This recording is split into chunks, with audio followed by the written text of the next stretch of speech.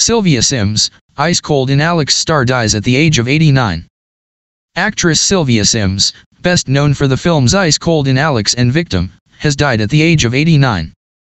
Her family said she died peacefully early on Friday at Denville Hall, a care home in London for those in the entertainment industry. A statement from her children, Beatie and Ben Edney, said, She has lived an amazing life and gave us joy and laughter right up to the end. Just yesterday we were reminiscing together about all our adventures. She will be so very missed. We would also like to take this opportunity to thank everyone at Denville Hall for the truly excellent care they have taken of our mum over the past year.